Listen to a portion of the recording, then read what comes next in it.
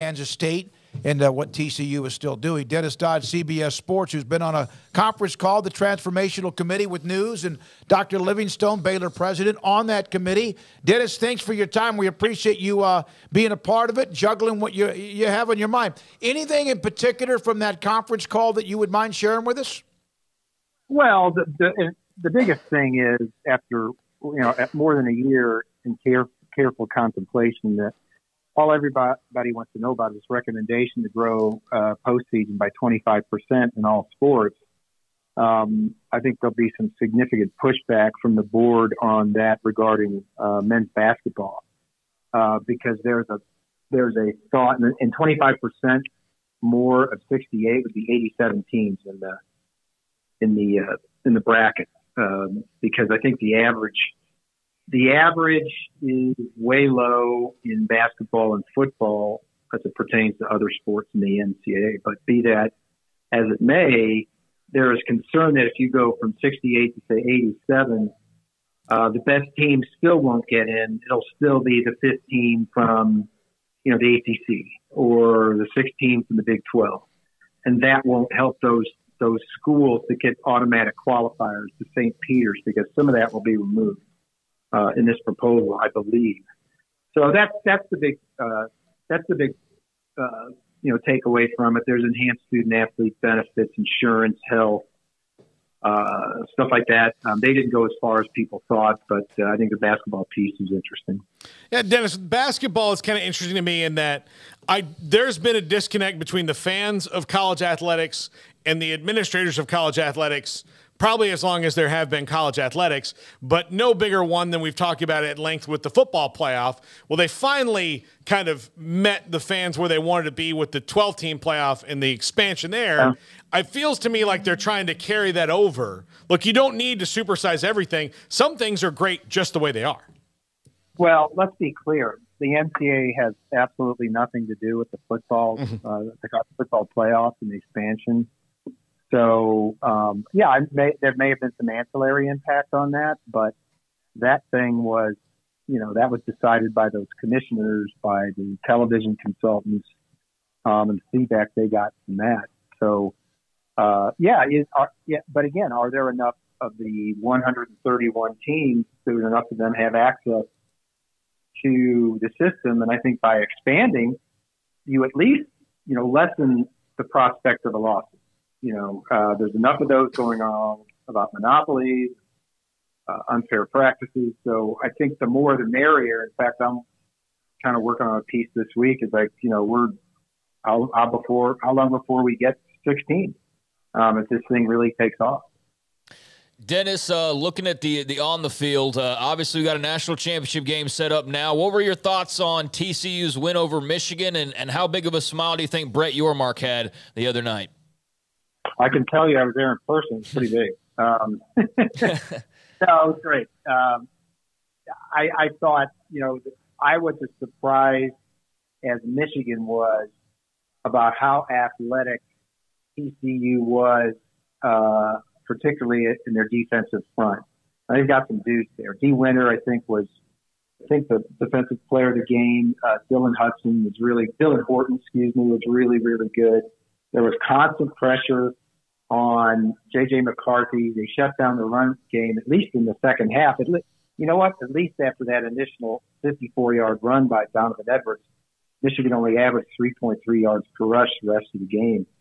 So, and, you know, has, has Georgia been warned? I don't know. Uh, I do know that TCU thinks they, they've got better than a puncher's chance to win the national championship because they're there. This has never happened before. Mm-hmm. I mean, of this level, playing for a championship has, hasn't happened since BYU in '84.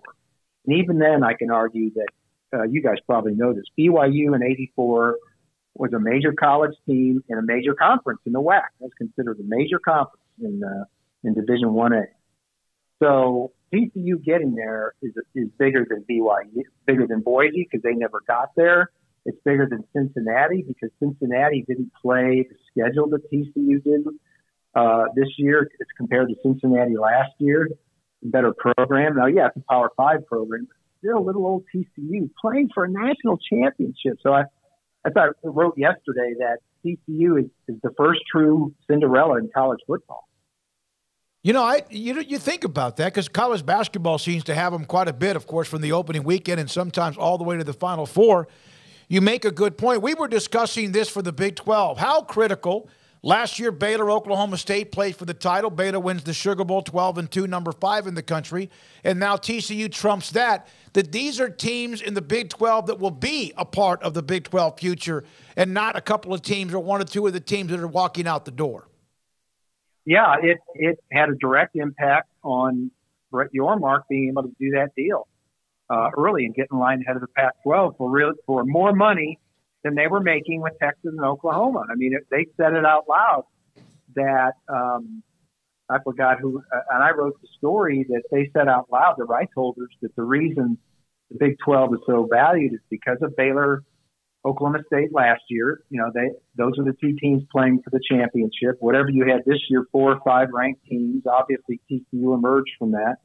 Um, and it looks like this is going to be a really good competitive conference in, in college football now, whether whether we even use the term Power Five anymore because the SEC and Big Ten is up for debate.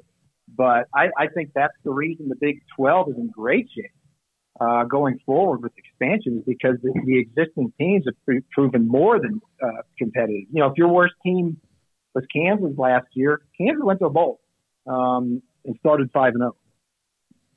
Dennis, do you think that the talent gap is closing between schools like Georgia and TCU. Now, it's not going to be exponential, but the transfer portal is a great equalizer for most everybody else. I get that you're you you can be Georgia, and you know the transfer portal can come and go. And in some years, like this year, it didn't really matter for them. They they didn't get what they wanted out of the portal, so they took no players. But uh, it does seem like that maybe the gap is closing a, slightly.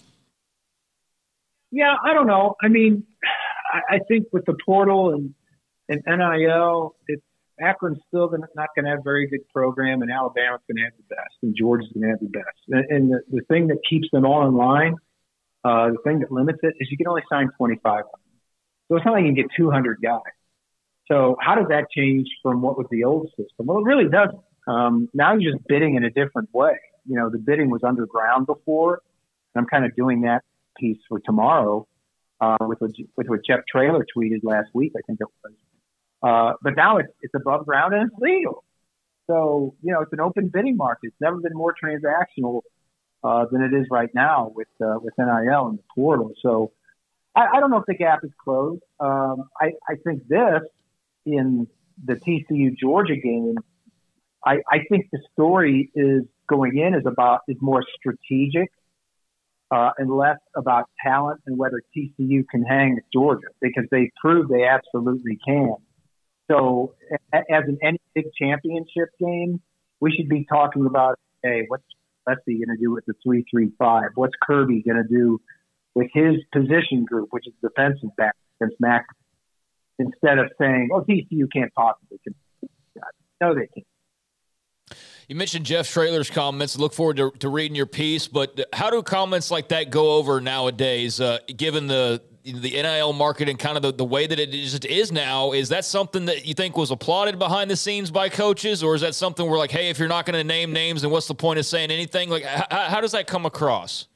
Yeah, I don't know how it was received by coaches, but I'm kind of getting tired of these coaches doing that. You know, God love Jeff Traylor; he's the salt of the earth you know, you have Pat Narduzzi now popping off about mm-hmm. what, you know, what Drake Maye got. Well, Drake Maye doesn't play at Pittsburgh, you know, so if, if you're going to do that, name names. Name names at USC when they took Jordan Addison. What was the number? They hijack him? Because, because in that profession, like, you know, I hate to say this, organized crime, there's like this code of silence you know, we'll, we'll handle it on this. You know, we're not we're not going to rat out our fellow coaches. Well, then you got to live with the circumstances. Yep. And these are the circumstances right now. What do you think would happen, Dennis, to a coach that actually published any kind of text messages? Um, well, it's getting real close to that because uh, a lot of these coaches are so frustrated. What would happen to them? I don't know. Uh, you know, maybe he would, you know, then there'd be scrutiny from other programs in on his program and he would be outed. But you know what? We saw it with Nick and Jimbo. The difference being these are probably the most powerful people on campus at their university and in their state. There are no repercussions. You know, it was it was said. Uh, you know, they, they were out there. It was like this melodrama, and then they kind of just made up, and that was it. You know, you can't hurt each other. Two two aircraft carriers going after each other aren't going to sink. That's usually for destruction. So, but if it was, boy, think of, uh, I don't know, think of a program revealing, uh, you know, uh, text from an SEC power, uh, maybe somebody in the American, kind of somebody poaching their players from the SEC. Now that would cause a stir, but we, I just told you why that's probably not going to happen. Dennis Dodd, CBS Sports columnist, covers college football, was at, of course, the TCU game and their win against Michigan. And man, the dynamic type of players they have, even though the offense didn't put up crazy numbers, they found a way to counter punch anything that Michigan brought to the table as well. Uh, Dennis, what do you think about the the, the long term for TCU and the way that they've uh, look Baylor? Look from our, you know, we saw it here last year. They had the best season in school history, and they weren't really able to capitalize off it the next year. TCU already recruiting everything else has capitalized off their best season in school history. What makes Sonny Dykes different than Dave Aranda in that regard? You think?